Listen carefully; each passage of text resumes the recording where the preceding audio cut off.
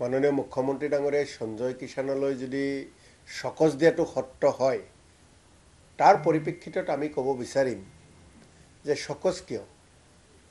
ইয়াৰ আগতেই তেখেতক মন্ত্ৰীসভাৰ পৰা বৰ্খাস্ত কৰিব লাগিছিল। মাননীয় মুখ্যমন্ত্ৰী ডাঙৰীয়াৰ মন্ত্ৰীসভাৰ অন্তৰ্গত এজন মন্ত্ৰী, গতিকে তেখেতক চকজ দিব লগা নাছিলেই। গতিকে যদিও চকজ দিছে,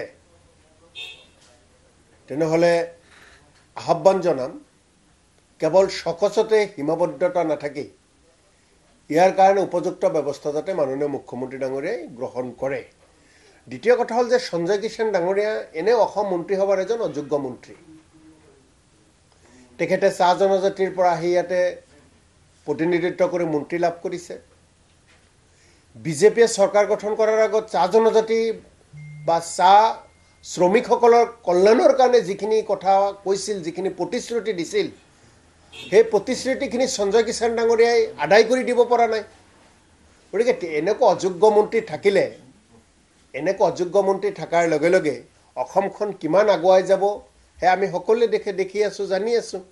গতিকে সঞ্জয় কিষাণৰ ওপৰত মাননীয় মুখ্যমন্ত্ৰী ডাঙৰীয়াই অতি সোনকাল উপযুক্ত ব্যৱস্থা ল'ব লাগে বুলি আমাৰ তৰফৰ পৰা আমি দাবী জনাইছোঁ। মাননীয় মুখ্যমন্ত্ৰী ডাঙৰীয়াই সঞ্জয় কিষাণলৈ যদি চকজ দিয়াটো সত্য হয় তাৰ পৰিপ্ৰেক্ষিতত আমি ক'ব বিচাৰিম যে চকজ কিয়? ইয়াৰ আগতেই তেখেতক মন্ত্ৰীসভাৰ পৰা বৰ্খাস্ত কৰিব লাগিছিল। মাননীয় মুখ্যমন্ত্ৰী ডাঙৰীয়াৰ মন্ত্ৰীসভাৰ অন্তৰ্গত এজন মন্ত্ৰী গতিকে তেখেতক চকজ দিব লগা নাছিলেই। গতিকে যদিও চকজ দিছে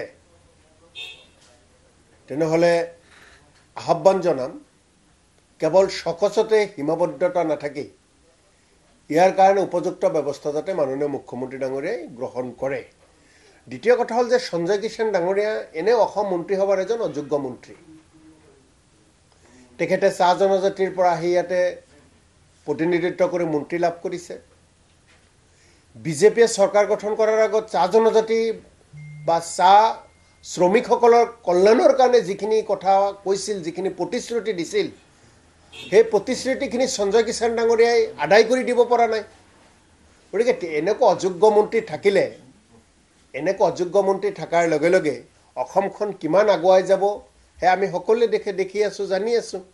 গতিকে সঞ্জয় কিষাণৰ ওপৰত মাননীয় মুখ্যমন্ত্ৰী ডাঙৰীয়াই অতি সোনকাল উপযুক্ত ব্যৱস্থা ল'ব লাগে বুলি আমাৰ তৰফৰ পৰা আমি দাবী জনাইছোঁ। মাননীয় মুখ্যমন্ত্ৰী ডাঙৰীয়াই সঞ্জয় কিষাণলৈ যদি চকজ দিয়াটো সত্য হয় তাৰ পৰিপ্ৰেক্ষিতত আমি ক'ব বিচাৰিম যে চকজ কিয়? ইয়াৰ আগতেই তেখেতক মন্ত্ৰীসভাৰ পৰা বৰ্খাস্ত কৰিব লাগিছিল। মাননীয় মুখ্যমন্ত্ৰী ডাঙৰীয়াৰ মন্ত্ৰীসভাৰ অন্তৰ্গত এজন মন্ত্ৰী গতিকে তেখেতক চকজ দিব লগা নাছিলেই।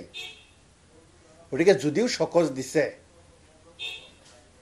তেনেহ'লে আহ্বান জনাম কেৱল চকচতে সীমাবদ্ধতা নাথাকি ইয়াৰ কাৰণে উপযুক্ত ব্যৱস্থা যাতে মাননীয় মুখ্যমন্ত্ৰী ডাঙৰীয়াই গ্ৰহণ কৰে। দ্বিতীয় কথা হ'ল যে সঞ্জয় কিষাণ ডাঙৰীয়া এনেও অসম মন্ত্ৰীসভাৰ এজন অযোগ্য মন্ত্ৰী।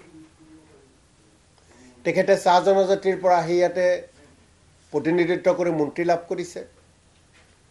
বিজেপিয়ে চৰকাৰ গঠন কৰাৰ আগত চাহ জনজাতি বা চাহ শ্ৰমিকসকলৰ কল্যাণৰ কাৰণে যিখিনি কথা কৈছিল যিখিনি প্ৰতিশ্ৰুতি দিছিল সেই প্ৰতিশ্ৰুতিখিনি সঞ্জয় কিষাণ ডাঙৰীয়াই আদায় কৰি দিব পৰা নাই। গতিকে এনেকুৱা অযোগ্য মন্ত্ৰী থাকিলে এনেকুৱা অযোগ্য মন্ত্ৰী থকাৰ লগে লগে অসমখন কিমান আগুৱাই যাব সেয়া আমি সকলোৱে দেখে দেখি আছোঁ জানি আছোঁ।